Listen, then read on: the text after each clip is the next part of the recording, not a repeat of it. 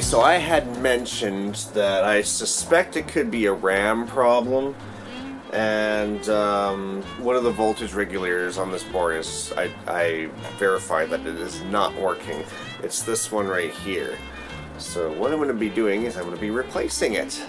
Because I still have two left from the ones that I bought for the, um, for the CPU board. So, let's uh, pull out this non-working voltage regulator and put a new one in. Goodbye, Mr. Voltage Regulator. You are dead.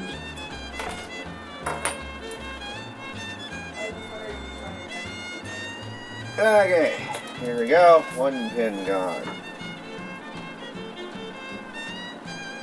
This one, I didn't leave anything for the soldering iron to grab onto, so There we go. Two pins gone.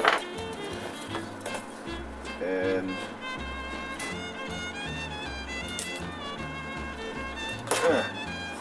there we go. Good. Now I gotta suck all the holes clean. Yummy, yummy.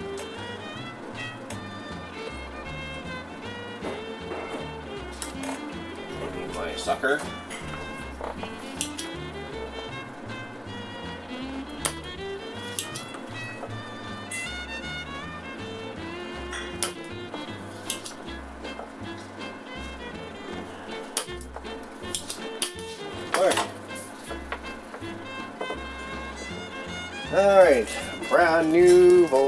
Regulator.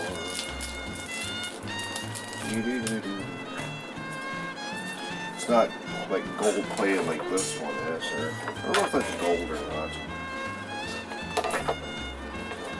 Okay, so I gotta put that on there and bend the pins to where I need them.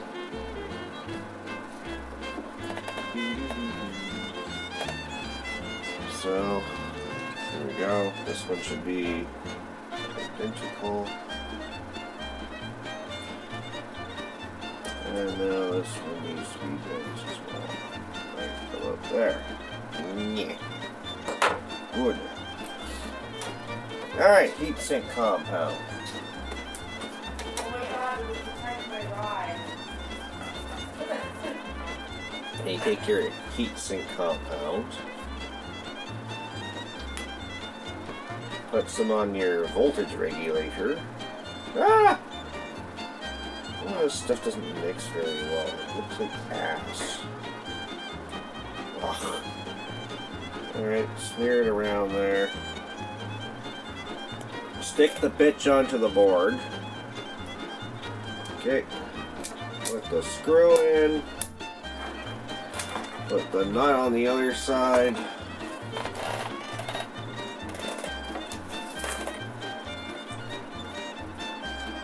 Okay, tighten lay screw. I have to clean all this shit up after. I don't want it to be a mess. Here we go. We have a Q-tip. Clean up the goop. Cause it is messy. It's like white poop.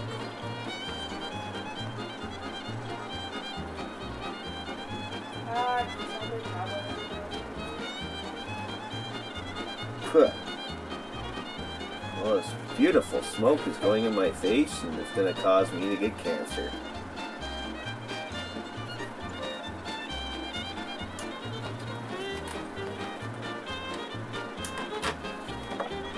So now, we take said RAM board and we put it in Le Altair. We take said CPU board, we put it in Le Altair.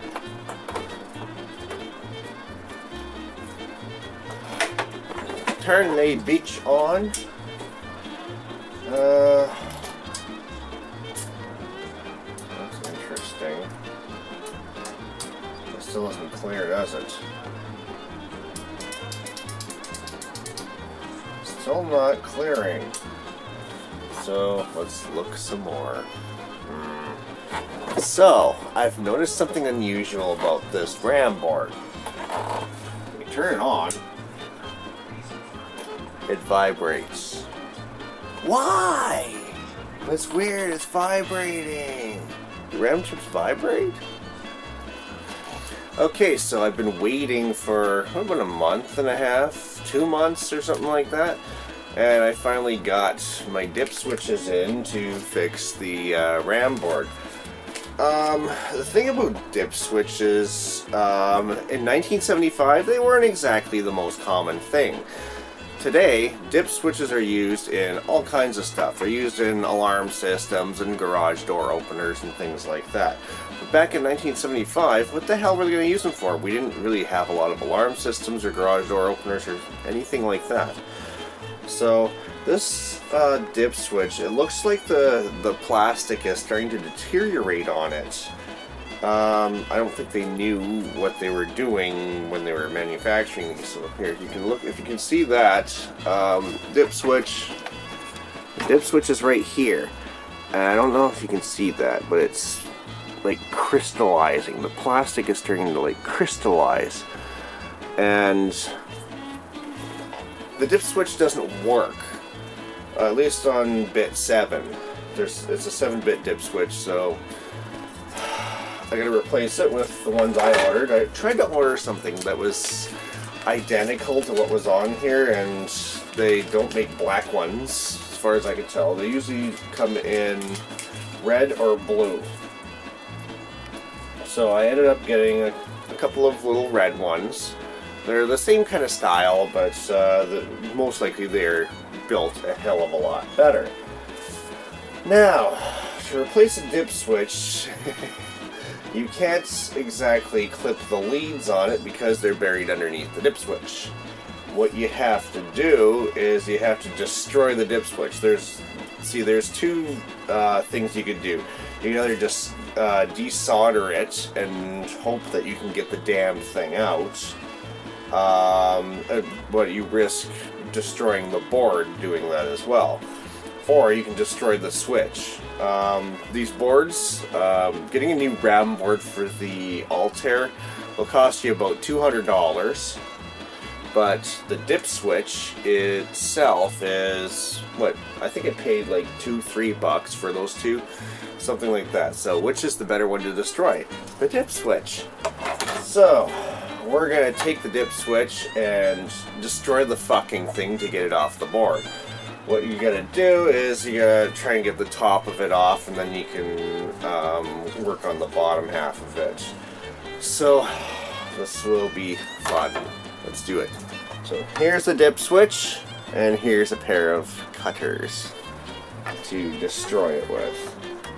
So let's kind of get into the corners and snip away at it here. And should be able to bust it apart pretty good. Yeah, pieces are gonna start flying off here. These out is, uh, there's a rocker switch. There we go. It's starting to come apart very nicely now. I don't know what this is made out of. It doesn't feel like plastic, although it probably is. Um, it feels a lot more solid than plastic. Because a lot of plastic is soft on these things. At least the, the newer style ones, you know, ones made in the last 30 years, not the last 40. Because this isn't the first time I've destroyed a dip switch because I had to replace it. But yeah, this one's totally fucked here. Oh, it's really fucked now. Look at this shit, eh? There we go. Alright, now, let's see how much more plastic we... Oh, yes! Look at that. That looks great. Look, look how well I destroyed that damn thing. That's pretty good. Okay, so soldering, soldering iron's heating up. Check this out. You can play music on these.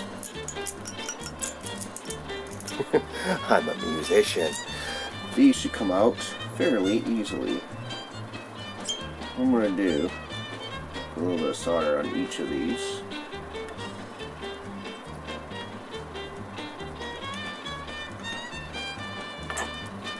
Good.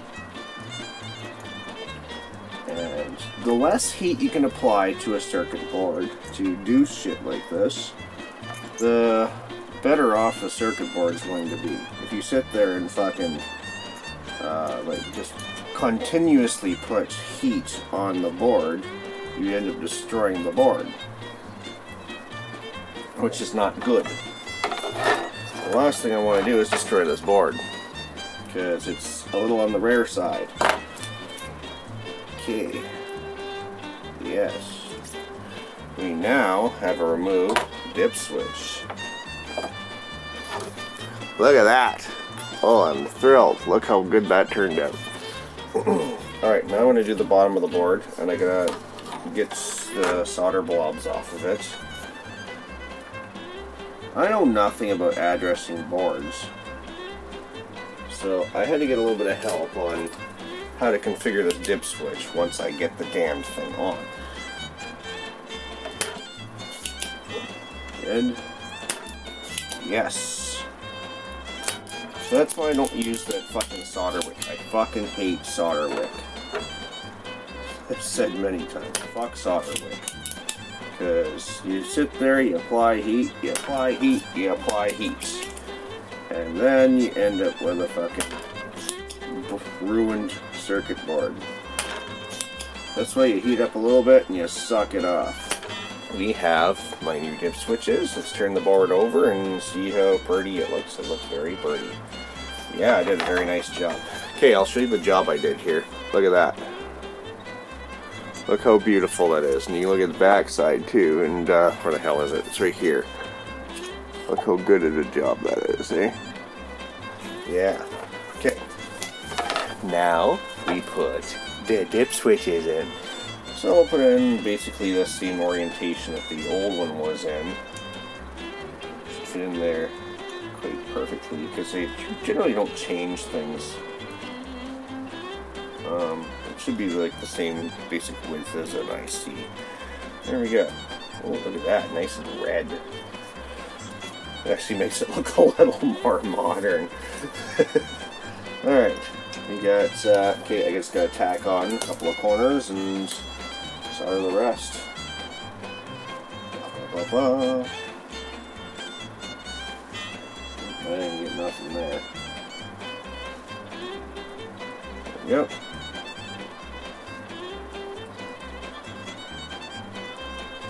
Good.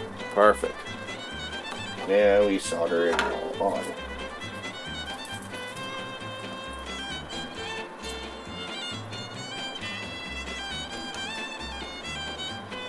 Yeah. This is going beautifully.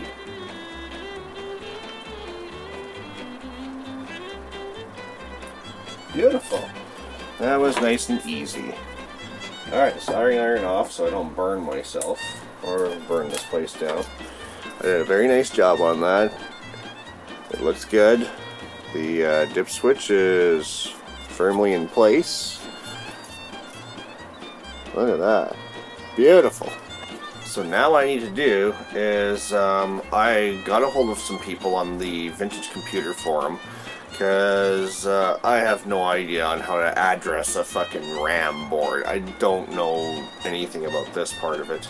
So I um, put a post on the Vintage Computer Forum and asked about this, and somebody asked for scans of the board, or like for really good pictures of the board. I threw it on my scanner and took great pictures.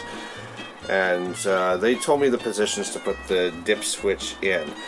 Okay, so apparently what you need to do is set this address board to all zeros. Now to do that, uh, to set it to zero, well, to enable zeros, it has to be closed, not open. Um, so address uh, bits 4, 5, 6, and 7 will set to 0, 0, 0, 0. So, and the first three you leave them off apparently.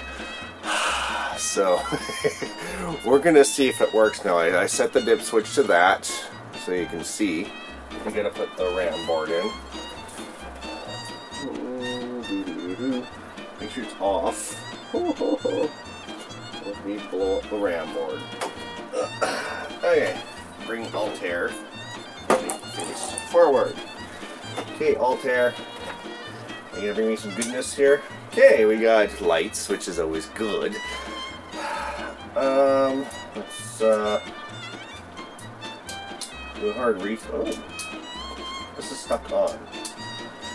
That's interesting. Okay. That makes things really interesting. Let's uh, examine some uh, um, you get random things in there. I'm happy seeing that these are not consistently on anymore, so that's a good thing. That is good. Um, examine address 1. Can we write to address 1? I would like to write 0 to address 1. Deposit. Now read it. Maybe I go unprotected.